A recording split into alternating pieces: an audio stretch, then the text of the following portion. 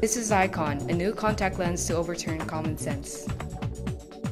You cannot tell I-CON from normal contact lenses only by looking. This is a view with using I-CON. There is something lost. Now let's take off I-CON.